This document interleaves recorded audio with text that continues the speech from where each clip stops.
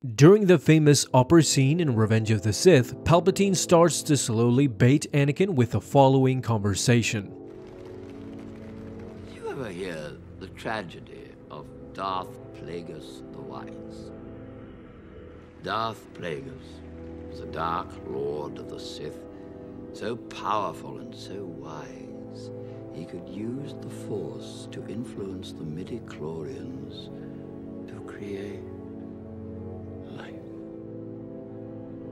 He had such a knowledge of the dark side, he could even keep the ones he cared about from dying.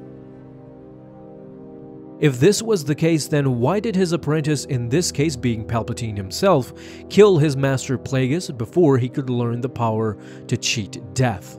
Well, first off, whether it be canon or legends, it is uncertain if Darth Plagueis actually knew how to prevent death.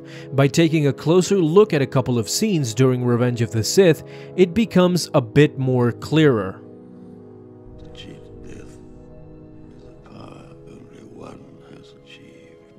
If we work together, I know we can discover this implies that Sidious does not know how to stop or prevent the death of anyone, much less your loved ones. However, before he said that to the now Sith apprentice Darth Vader, at the Opera House he told him this. Unfortunately, he taught his apprentice everything he knew. Then his apprentice killed him in his sleep. If we start to decipher this quote and what Palpatine was insinuating here, it basically says that Sidious knew everything that Plagueis knew, leading us to believe that Plagueis didn't actually know how to cheat death either, since later he tells Anakin that if we work together, I know we can discover the secret.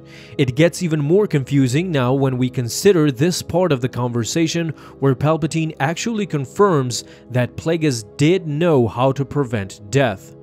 He had such a knowledge of the dark side, he could even keep the ones he cared about from dying.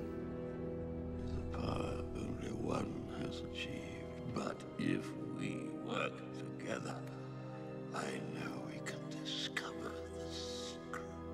Again, by taking a closer look at things at face value, it perfectly summarizes the whole Sidious persona. Here, it is obvious that Sidious was lying and manipulating Anakin masterfully.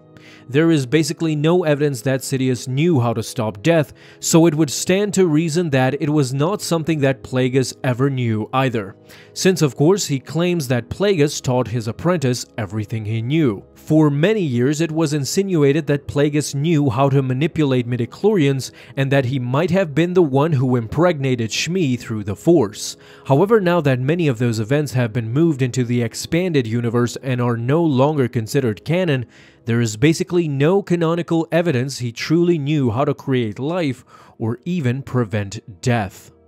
Alright Star Wars fans, that is it for today. Thank you so much for watching this video and if you liked it, feel free to leave a thumbs up down below, subscribe if you haven't already, and don't miss out on any of my future videos that I will post on this channel. Have a fun day my friends, and in closing, don't forget, may the Force be with you always.